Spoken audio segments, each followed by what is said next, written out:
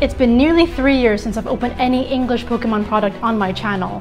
And yes, in, in this video, we're going to be opening up a whole booster box of Obsidian Flames, the latest Pokemon set to release in the States. But why do I open English product today? I've been getting a lot of questions lately about how Korean Pokemon cards um, compared to English Pokemon cards. If you guys didn't know, if this is your first time on my channel, I am a multi-language Pokemon card collector. I feature a lot of Pokemon products in Japanese, Korean, Chinese, etc. But since it's been such a long time since I've touched any English product, seen the quality um, change also, I wanted to see for myself how they compare to Korean cards. So we're going to be doing a bit of that today. Um, also, I've been getting a lot of questions about when the Korean version of this will come out. It's very interesting. The minute a new release comes out, people need to know when the Korean version is coming out. It's actually next Friday, August 25th, to be released publicly in Korea. So let's get started with this opening. I'm very excited. It's been a very long time and opening English packs. This is quite weird, but at the same time too, refreshing at the same time. So I want to actually give a big thank you and shout out to Becca Castle for this great deal. I actually also opened up an ETB and got the most insane pulls. I just remember back in the day, like my last English set to open was Champion's Path. And I remember how bad the pull rates were. But after this pack, I'm going to show you guys my hits. We have Beartic, Togedemaru. Very nice reverse. There's two reverse hollows now, which is very cool. And our first hollow, and I think hollows are guaranteed. This was not a thing back then. Now we have Darkrai. It just feels like Sword and Shield, which is major robbery back then. But yes, here are my hits, guys. Just please tell me why. From one ETB, this is 10 booster packs of Obsidian Flames. I got a illustration for Poppy. This is my second one, by the way, because I did open the three uh, pack blister in the past. We got a full art Tera Charizard EX. This is something I definitely did not expect. Just the regular full art, not the illustration rare. A full art Absol. Like, I kid you not. This is everything we pulled besides the Char Charmander promo. We have a Tera Tyranitar EX. Very cool, by the way. And also the Fable EX. So those were my pulls from the ETB. I was very shocked, and if you guys don't believe me, I have the cover right here. Very nice Charmander on the um, actual cover. It's really cool. I've noticed also a nice quality um, increase. The booklet feels nicer, the sleeves are nicer, hence why I have the sleeves on screen here too.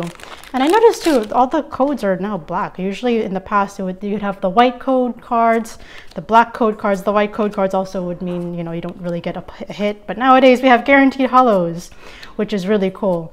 So, but yes, so what I'm gonna do too, since we're, uh, when I open a few more packs, we're gonna actually look at a Korean card with the English cards. They have Toxtricity, very nice holographic, and our energies at the back. The card trick's definitely very different. Man, I remember back in the day with the codes and everything, people were obsessed. Not have to worry about that anymore because I just open, you know, non-English cards. Actually, let's do the code let's do the trick to the front might, might, might, as well. We have the basic energy, there's your code if you guys want that. I don't, I don't play the online TCG. We have Litwick, Audino, Charmander, very nice artwork in this set. That's also why I like Ruler of the Black Flame, Japanese and Korean. Of course, Obsidian Flames in English. We have Toxtricity, the Town Store, Entei. Okay, so just to just to feel out the first few packs, definitely more hits from the ETB so far, but we're still early on. There's 36 packs as opposed to 30 in the Korean and also Japanese booster box. But yes, I, one big thing I really wanted to talk about was really like cost efficiency. I'm not used to this at all. So in terms of value and also whether one is better to collect in English versus Korean, that really has to depend on your collection goals. So if your if your if your goal is to finish a master set versus chasing after specific cards, you know, if you want to complete a master set, it's actually better to open English in my opinion, just because with the latest pull rates of booster boxes especially, very different from a couple years ago. Wow, so we got Poppy twice. We got the full art. Very, very nice by you. Actually very, very cute. And she's one of the Elite Four members if you didn't know. She has steel type Pokemon. But anyways, um, continuing on my little chat about the Korean cards versus the um, English cards. So in terms of pull rates, of course, as I always mention, if, you, if this is your first time hearing about Korean Pokemon cards, the booster boxes do not guarantee a secret rare. Please keep that in mind.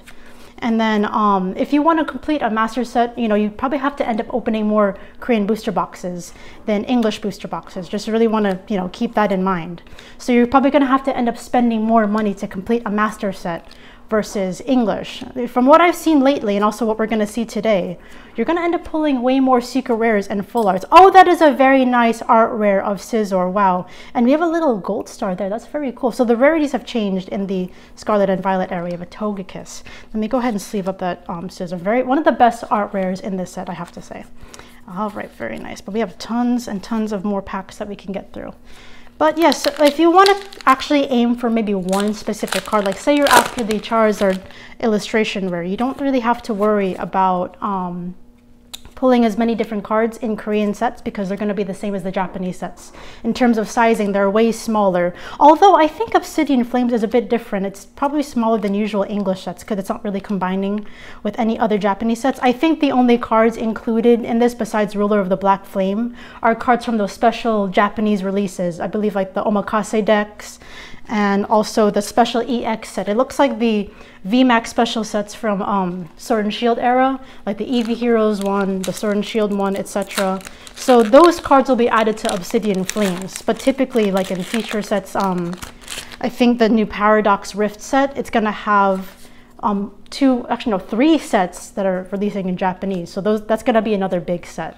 But yeah, so in terms of collecting, you really have to think about what your goals are before you start comparing Korean versus English. And just like the English uh, version of Pokemon cards, they also had their tr transition from yellow borders to silver borders. Perfect. So we pulled a hollow card here. I wanted to give you guys a little comparison. So here's a Korean Articuno from Korean 151. As you can see, here are the holo borders and also on the back. So we have to keep in mind the card quality is going to be very different because Pokemon Korea have their own card stock versus Pokemon International. Of course, printing in the States, the UK, throughout the um, world. And also the, the names are going to be super different. So Articuno in Korean is Purijo. They're going to have their own specific names in South Korea. Scizor is actually Hatsam in Korean if you want to know a little fun fact. And also too, so as I mentioned before, here's a couple of examples. Here are the Korean cards from Sword and Shield era to Scarlet and Violet era. They had the same exact transition from yellow borders to silver borders. So yes, and here are the backs as well, just to show you guys. And also here, let me actually show you guys a little comparison. We have actually a ground type here, so you guys can really see. Um, so in terms of like sheen and also feel as well, I feel like the English cards are a little bit more sturdy than the Korean cards. Don't get me wrong, with the quality of Korean cards have definitely come a long way since the Sun and Moon era, for example. I remember those were a bit, a bit lower quality, but they've definitely improved. So you guys can really see for yourself. Here are the backs, if you guys are curious about the colors. Sometimes they'll be really different, sometimes they'll be the same. I noticed with English cards, the card backings will sometimes vary in color in general because of different print runs, etc. So just keep that in mind when it comes to English cards versus Korean cards. I can't really say which one is better versus which is worse. Again, because there's different pull rates, there's different um, card qualities even within the own language sometimes. And also, it depends on your goal. If you're looking for that one card, go with Korean because the sets are smaller. But if you want to complete master sets, just repeat again, go with English because you're going to get more pulls per booster box. Even though, yes, Korean booster boxes are going to be much cheaper on, on average, like $40 per booster box versus like 90 to 100 for English booster boxes. But you have to remember Korean booster boxes, no guaranteed SR, lower card quality, and you have a smaller set. So a lot of factors to keep in mind. One to the front here. Okay, we have our basic. Anyway, anyway, back onto enjoying this set. We have Finizen. Sorry if that was a lot of talking about Korean cards versus English cards. I just feel like they're kind of competing right now in terms of like quality and popularity. Japanese cards, of course, will be king in terms of quality. And also, Pokemon originates from Japan. But they've become very unobtainable nowadays with the hype in Japan so far. And also, please keep in mind too that the Japanese Pokemon Japan versus Pokemon Korea that are you know saying this is that they're both separate companies. Some people like to assume that they're the same but just because it's in asia. Um, when it comes to korean pokemon cards like i said they have their own specific card stock and that's because pokemon korea is really its own separate entity just like how pokemon international is different from pokemon japan. So please keep that in mind. Yes pokemon korean releases copy and follow the Japanese releases, but really they're their own company. And yes, they have their own specific marketing. Hence why the booster boxes don't guarantee an SR, but the Japanese booster boxes do. And I guess English does nowadays. I mean, I remember from Chilling Reign, some people had booster boxes with no full art hits. So times have obviously changed because now I'm seeing people pull like four full arts from booster boxes. And I think now we've only had one so far. which is still exciting because that means we have a lot of things that we could possibly pull from this booster box. So let's keep going here. Basic Energy, Oddish. And let me tell you, I'm not used to the thick packs because I'm used to opening packs with just like five cards unless it's a high class set like Shiny Star V, um, VMAX Climax. So yeah, let me know what you guys think. Would you still continue collecting um, English over Korean or are you going to start collecting Korean over English? Because again, cost is one thing to keep in mind, but pull rate is another to keep in mind as well.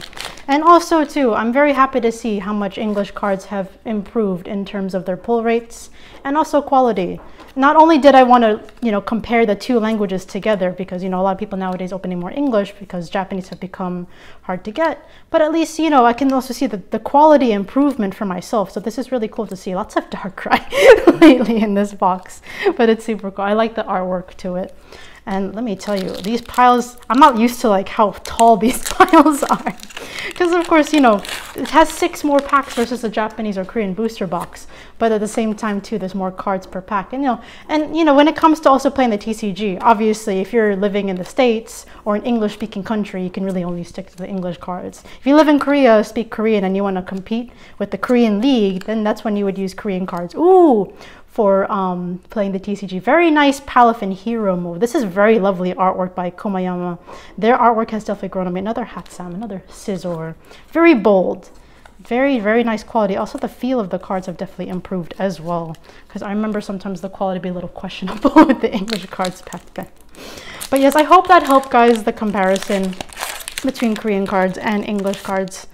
But, you know, if you have any other questions, um, throw them in the comments below. But yeah, so let's continue right over here. And also, one thing I actually forgot to talk about. So if you guys remember in the beginning of the video, I told you the release date is going to be on Friday next week as the recording of this video um, in South Korea for Ruler of the Black Flame, the Korean version of this set.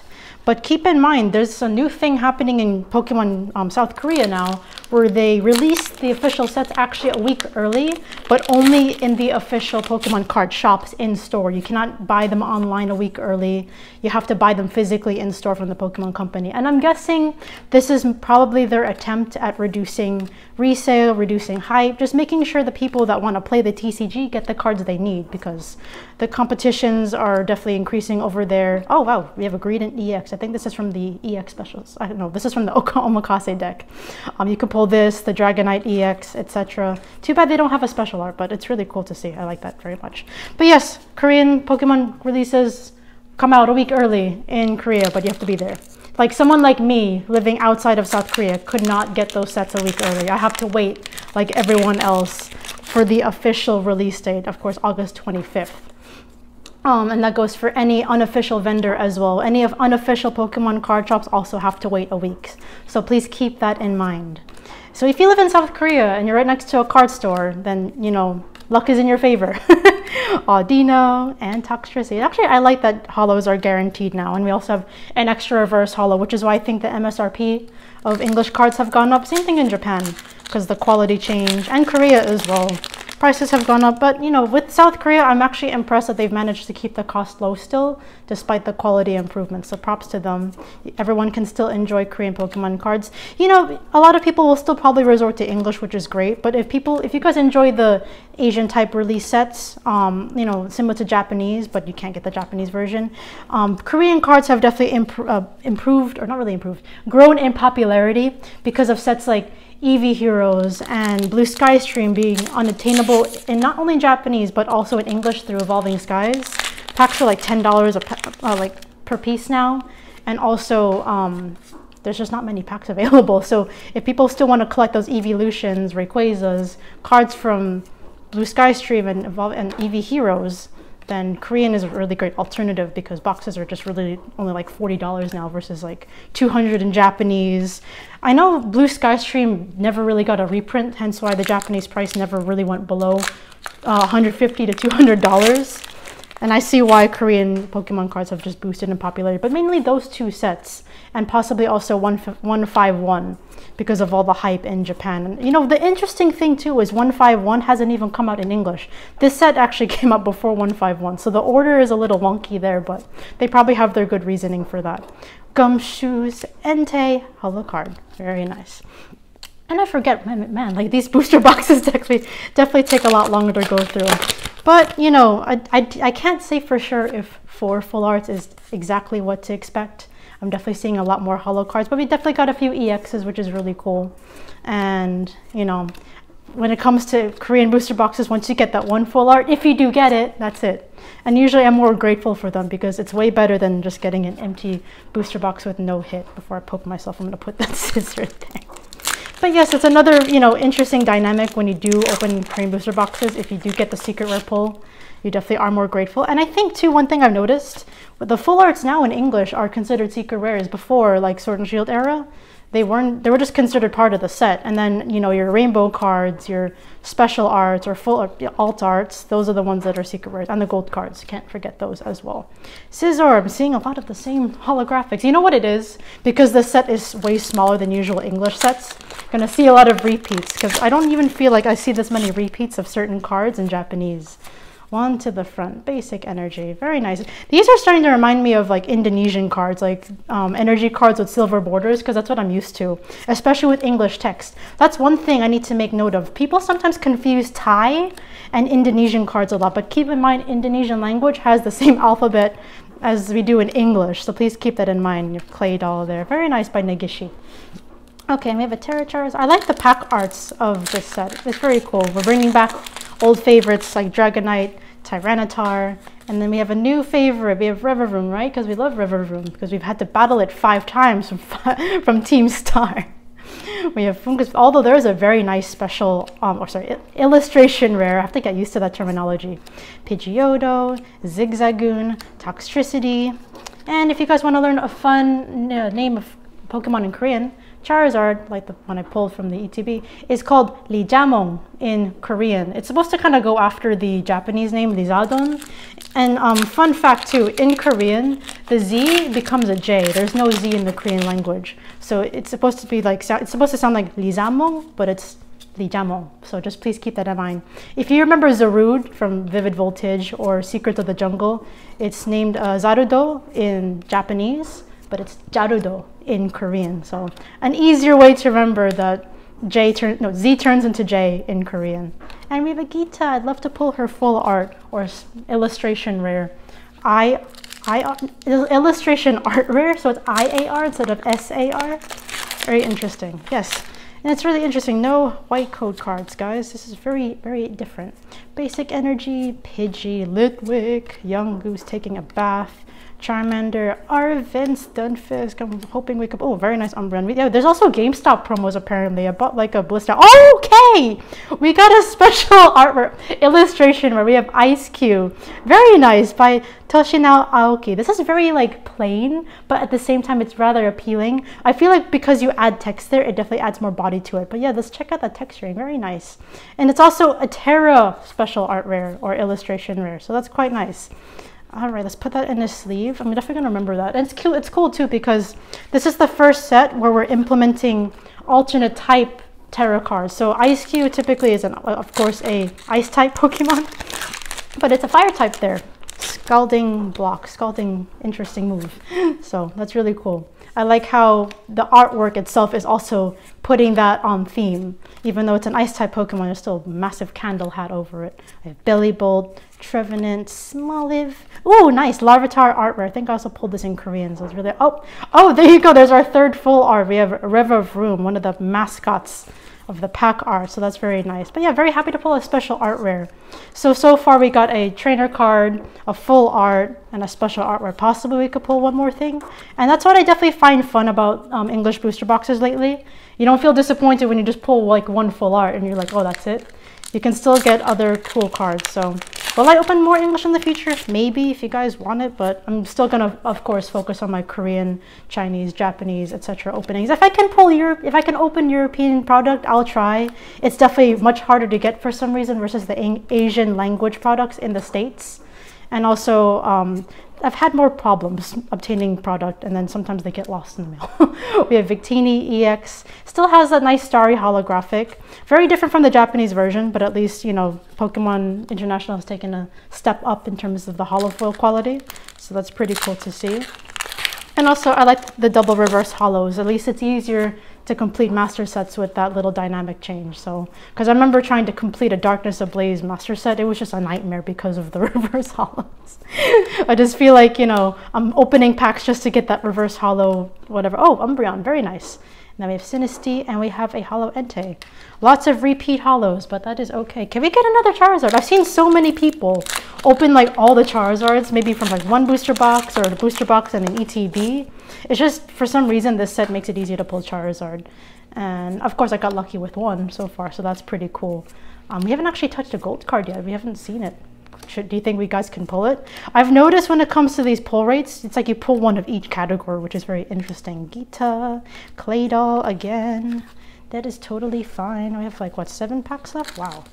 We, got, we just keep talking and, you know, it, it makes the conversation, it makes, it makes the opening actually more fun because, you know, if I'm opening packs at this rate, I still have a lot left. That means we're having a good time. We have Varoom, Salandit, Electric, Larvitar eating its dirt, that's how it grows. Grows into a strong Tyranitar, Arboliva, Team Star, Miltank, Baltoy, and oh, very nice! My second Tyranitar EX. Maybe you should make a deck. very nice. I like the um, texturing of this card. And also, I, I hope to pull the full art one day. I'm actually surprised they didn't make a special art rare or illustration art rare of Tyranitar EX. Maybe we'll see it in a high class set or the um, holiday set, you know, we have in Japan.